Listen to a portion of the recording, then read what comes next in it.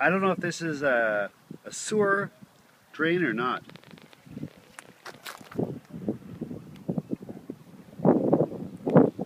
I'll show you in a second uh, where I am. I'm at Balaclava and Point Grey Road in Vancouver. Uh, it's beautiful here. I'm just going to do some paperwork with somebody and I'm waiting for them to look around. I'm at the beach.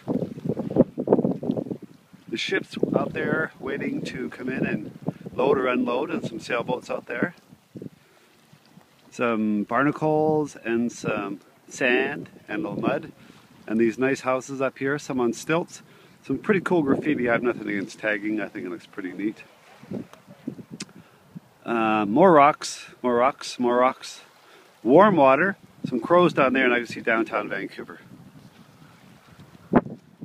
Quite a pretty view. What a beautiful place to live. But it's uh, Kitsilano, so it costs you a fortune. I bet you couldn't get any of these places here for less than uh, less than two plus million. So this is Michael Arnold in um, Kitsilano, Vancouver, BC, Canada. Enjoy. Have a wonderful day. I'll talk to you soon. Bye bye.